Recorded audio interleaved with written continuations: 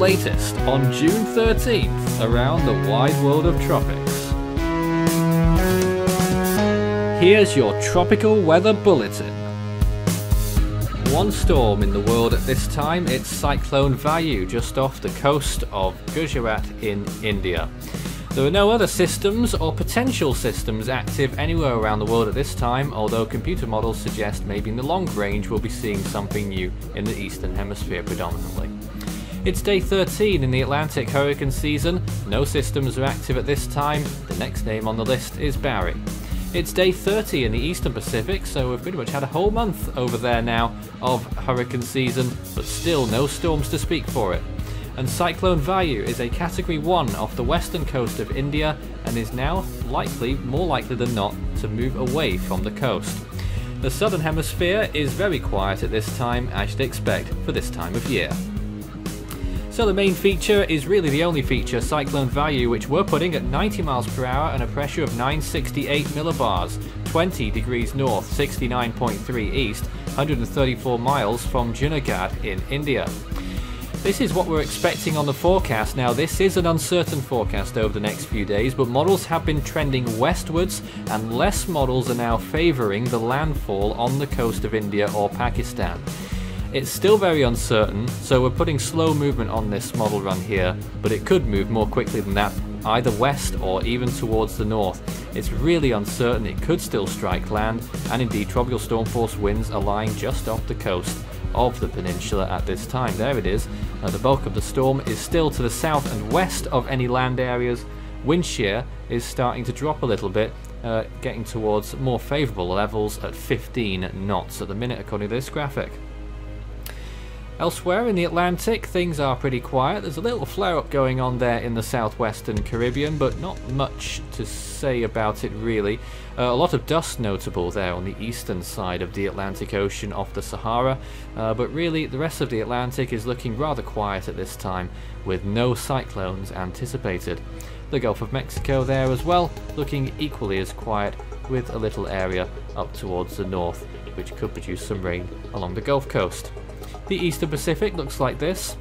A few more flare-ups now towards the south and east of the ocean there, and uh, models are suggesting that maybe we'll see some development here into the first storm next week.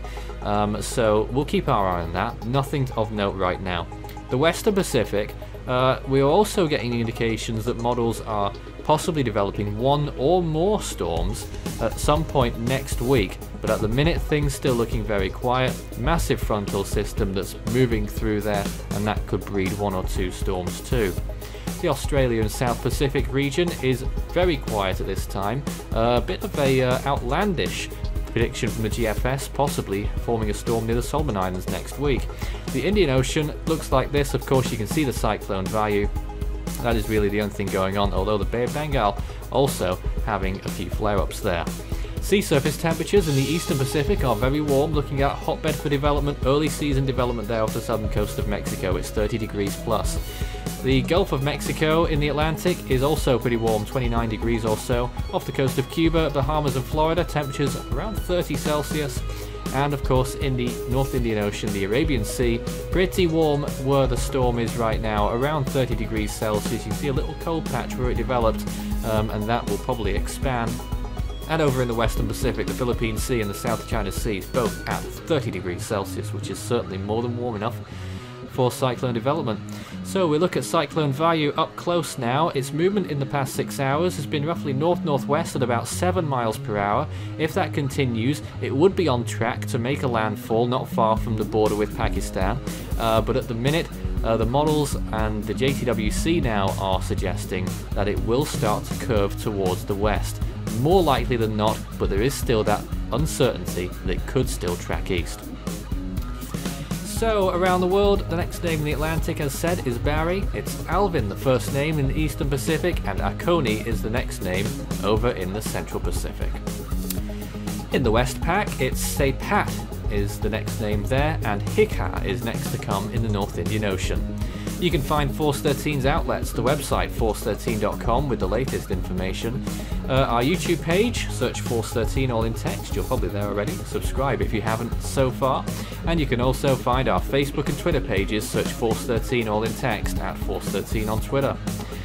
That's all for now, we'll have more updates, regular updates on our channel on Cyclone Vayu.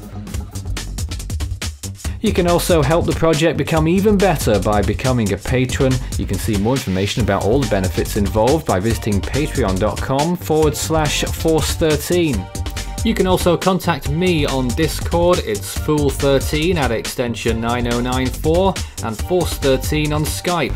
You can also find our server link to our Discord server for tropical weather chat in our description.